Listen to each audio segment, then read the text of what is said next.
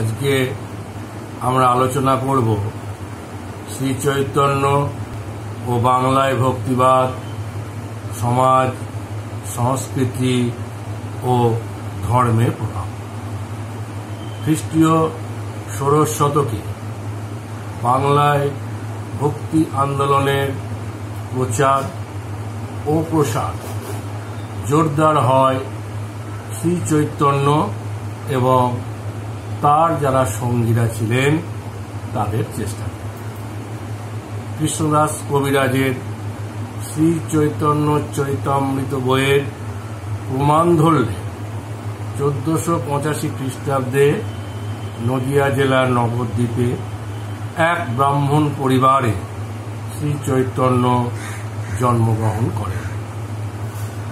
বাল্যকাল থেকে ব্যাকরণ, দর্শন প্রভৃতি নানা শাস্ত্রে তার অসাধারণ পাণ্ডিত্যের পরিচয় পাওয়া যায়।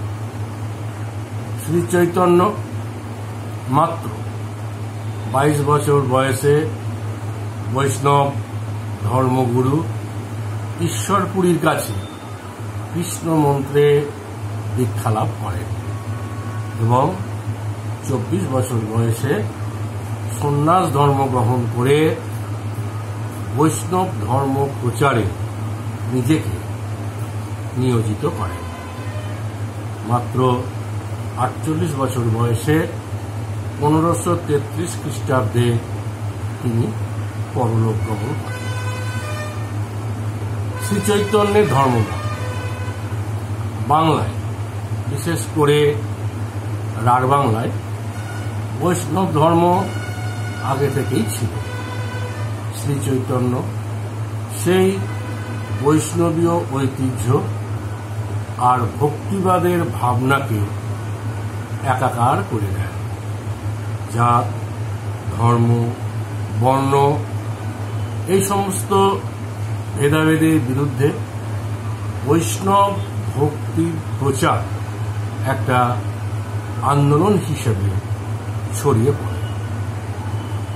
নদিয়া জেলার নবদ্বীপ ছিল এই ধর্ম আন্দোলনের প্রাণ কেন্দ্র। সেই সময় নবদ্বীপের বাসিন্দাদের মধ্যে অব্রাহ্মণরায় সংখ্যায় বেশি ছিল। বৃন্দাবন দাসের লেখা থেকে জানা যায়, শ্রী চৈতন্যের সময়ে নবদ্বীপে বিভিন্ন জাতি গোষ্ঠী বিভিন্ন পাড়ায় বসবাস করত। তাদের জীবিকা ছিল নানা রকমের। শাঁখারি, মালাকার, তাঁতি, গোয়ালা গন্ধবলি তাম্বুলি, বাদ্যকার সাপে চিকিৎসক গণিত প্রভৃতি। গ্রামের ছবিটাও একই রকম ছিল। শ্রী চৈতন্যের জন্মের আগে থেকে বাংলায় তুর্কি আক্রমণের ফলে শাসন ব্যবস্থায় একটা পরিবর্তন ঘটতে শুরু করে। হোসেন শাহের রাজত্বে শাসন কাজে ব্রাহ্মণদের প্রভাব কমে গিয়ে কায়স্থদের প্রতি পক্ষপাতিত্ব বাড়ে। তার পাশাপাশি শাসক আমলাদের অত্যাচারও সেই সময় ছিল। এইসব অত্যাচারের হাত থেকে মুক্তির উত্তর।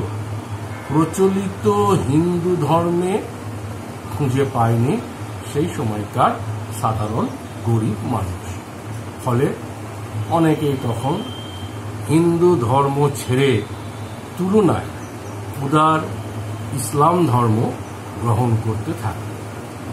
এর পাশাপাশি আগে থেকেই বিভিন্ন ধরনের ধর্ম ও বিশ্বাস সেই তখনকার সমাজে চালু ছিল।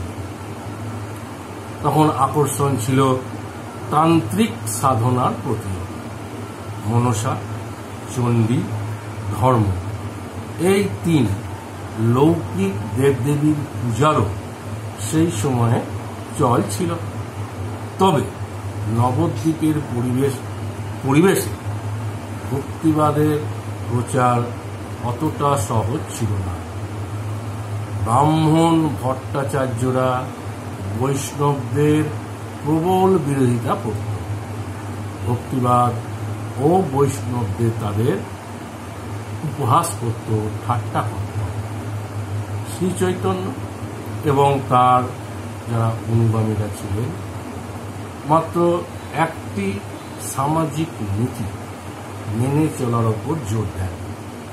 সেই নীতিটাকেই বলা হয়েছে ভক্তি। এই ভক্তি হচ্ছে স্বতঃস্ফূর্ত। তার জন্য কোনো উদ্যোগ, আয়োজন লাগে না। সাধারণ জীবনযাপন এবং সহজ সরল আচরণের উপরই শ্রী চৈতন্য গুরুত্ব দিতেন। এতে কোনো আড়ম্বরের জায়গা ছিল না। শ্রী চৈতন্যের এই যে উদার দৃষ্টিভঙ্গির জন্য বৈষ্ণব ভক্তির জনপ্রিয়তা বাড়তে থাকে। শ্রী চৈতন্যের বৈষ্ণব ভক্তির প্রচার ও প্রসারে একটা পরিকল্পিত কাঠামো দেখতে পাওয়া যায়। সেগুলো কি? যেমন এক নম্বর, শ্রীচৈতন্যের নেতৃত্বে নবদ্বীপে যে বৈষ্ণব গোষ্ঠী সংগঠিত হয়, তাতে কোনো জাত বিচার ছিল দু নম্বর, চৈতন্য ঘরে ঘরে নামগান প্রচার করার ব্যবস্থা করে, তার সঙ্গে বিশাল শোভাযাত্রা করে নগর কীর্তনেরও ব্যবস্থা এখানে কীর্তন সম্পর্কে একটু তোমাদের জেনে রাখা ভালো। শ্রী চৈতন্যের বৈষ্ণব ভক্তি আন্দোলনের আগেও কীর্তন গান ছিল। শ্রী চৈতন্য কি করলেন? না, সেই কীর্তন গানকে জনসংযোগের মাধ্যম হিসাবে ব্যবহার করলেন তিনি দু রকমের কীর্তন সংগঠিত যথা এক, নাম কীর্তন এবং দুই, নগর কীর্তন। নাম কীর্তনটা কি? নাম কীর্তন, ঘরে বসেই গাওয়া হতো আর নগর কীর্তন, নগরে শোভাযাত্রা করে ঘুরে ঘুরে গাওয়া। কীর্তনে কোনো জাত বিচার ছিল না। নেচে নেচে দুহাত তুলে গান গেয়ে চলাই ছিল কীর্তনের বৈশিষ্ট্য। নাম কীর্তন গাওয়া সবার পক্ষে সেটা সম্ভব ছিল তিন নম্বর, শ্রী- শ্রীচৈতন্য নিজে উচ্চ বর্ণের ব্রাহ্মণ হলেও বিভিন্ন পেশার মানুষ এবং তথাকথিত নিচু জাতের মানুষদের সঙ্গে ব্যক্তিগত একটা যোগাযোগ তৈরি করেছিল চার নম্বর, কোনো প্রচলিত লোক ধর্মের বিরোধিতা তিনি করেননি। ভক্তি প্রচারকেই একমাত্র ধর্ম হিসেবে তিনি কিন্তু তুলে ধরেননি। পাঁচ নম্বর নবদ্বীপে প্রভাবশালী জগাই মাধায়ের অত্যাচারের তিনি বিরোধিতা করেন এবং তার সঙ্গে বিরোধিতা করেন তার অনুগামী নিত্যানন্দ। পাশাপাশি গোড়া ব্রাহ্মণদের তিনি সেই সময়ে প্রতিবাদ করেছিলেন। আবার কীর্তন বিরোধী নবদ্বীপের কাজীকেও তিনি তর্কে ডাকেন এবং তর্কে তিনি তাকে হারিয়ে দেন এভাবে হিন্দু, মুসলমান শাসকদের অত্যাচারের বিরুদ্ধে তিনি এবং তার অনুগামীরা প্রতিবাদ সংগঠিত করেন। ছ নম্বর, চৈতন্য বৈষ্ণবীয় নাটক অভিনয় করার উদ্যোগ নেন এবং চৈতন্য নিজে তাতেও অভিনয় করেন।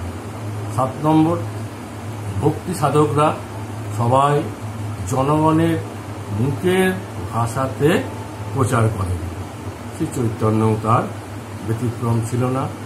বাংলা ভাষাতেই তিনি ভক্তি প্রচার এর ফলাফল কি হয়েছিল?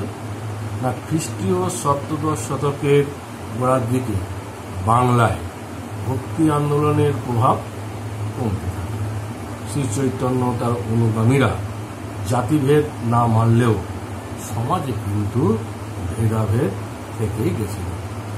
সব রকম ভেদাভেদ পুরো দূর করতে না পারলে সেগুলিকে তুচ্ছ করা যায়। একথা শ্রী চৈতন্যই জোর দিয়ে কি করেছেন না প্রচার করেছেন। সেই সময়কার তুলনায় ভাবলে এটি এক বড় সাফল্য বলতে পারা যায়। তবে চৈতন্য এবং তার ভক্তি আন্দোলনের সবচেয়ে বড় গভীর প্রভাব পড়েছিল বাংলার সংস্কৃতি এখান থেকে তোমরা যে প্রশ্নগুলো পড়বে, সেগুলি হলো আটচল্লিশ চৈতন্য চরিতামৃত গ্রন্থের রচয়িতা কে? ঊনপঞ্চাশ বৈষ্ণব ধর্ম আন্দোলনে প্রাণ কেন্দ্র কোথায় ছিল? পঞ্চাশ চৈতন্যের আমলে নবদ্বীপে কোন কোন জীবিকার মানুষ বাস করত? প্রশ্নমান দুই। একান্ন, হোসেন শাহের রাজত্বে বাংলায় কাদের প্রভাব বাড়ে? কাদের প্রভাব কমে? বাহান্ন শ্রীচৈতন্যের আমলে বাংলায় কোন তিন লৌকিক দেবদেবীর পুজোর চল ছিল?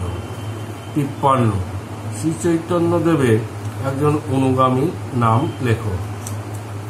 চুয়ান্ন কোন ভাষাতে চৈতন্যদেব ভক্তিবাদের প্রচার চালান? পঞ্চান্ন। শ্রীচৈতন্য নবদ্বীপে তাদের অত্যাচারের বিরোধিতা করেন? ছাপান্ন। শ্রীচৈতন্য কয় ধরনের কীর্তন সংগঠিত করেন ও কি কি? সাতান্ন। নাম কীর্তন কি? আটান্ন। নগর কীর্তন কি? উনষাট কোন ধরনের গানগুলিতে আজও বৈষ্ণব প্রভাব লক্ষ্য করা যায়। সাত, টিকা লেখ, শ্রী চৈতন্য, প্রশ্নমান চার। একষট্টি, শ্রী চৈতন্যের বৈষ্ণব ভক্তির প্রচার ও প্রসারে পরিকল্পিত কাঠামো কেমন ছিল? প্রশ্নমান চার। বাষট্টি, বৈষ্ণব ভক্তি আন্দোলনের ফলাফল কী ছিল? প্রশ্নমান চার।